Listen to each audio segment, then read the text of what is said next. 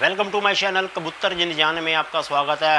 ऊपर वाले के रहम करम से और आपकी दुआओं के साथ आपकी खिदमत में इमरान खान।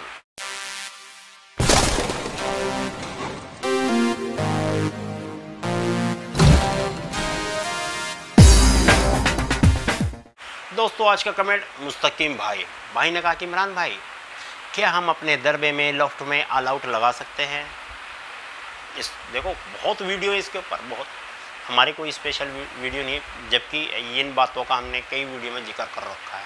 तो ये हम इसका क्या कहते हैं टाइटल भी यही दे देंगे कि दरबे में क्या हम ऑल आउट लगा सकते हैं, ताकि सब भाइयों को पता चल जाए।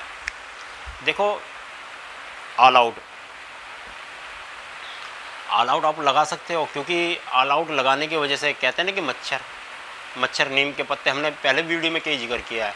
तो ऑल आउट लगाना गलत नहीं ऑल आउट आप लगा सकते हो, मगर दरबा आपका खुला डुला होना चाहिए। ये नहीं कि बिल्कुल छोटे से दरबे में ही ऑल आउट लगा रहे हो, ठीक है?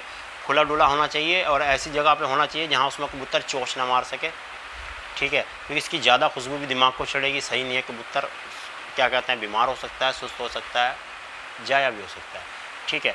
थोड़ा दूरी पे हो, ठीक है? इसके लगाने के वही फ़ायदे जो हमने वीडियो में गिनाए थे। कि जो कबूतरों के बच्चे पल रहे होते हैं या मच्छर उनको काटते हैं जहर बार हो जाती है, माता हो जाती है, उंगलियों पे अपना फोड़े फिंसी हो जाते हैं और कबूतर जाया हो जाते हैं।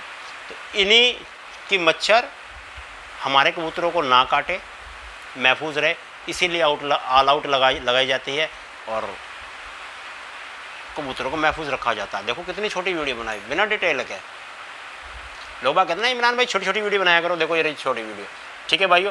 तो आप अपने लॉफ्ट में ऑल आउट लगा सकते हो, कबूतरों को महफूज रख सकते हो, जिससे कि कबूतर आपके महफूज रहें, किसी के जहरबार माता, फोड़े, फिंसी ना हो। ठीक है भाइयों? शायद ये वीडियो उनको पसंद आए, जो कहते हैं, छोटी वीडियो बनाया करो। ठीक है दोस्तों? तो ये वीडियो कैसे लगी, ज़रूर कमेंट बताना। अल्लाह हाफिज़।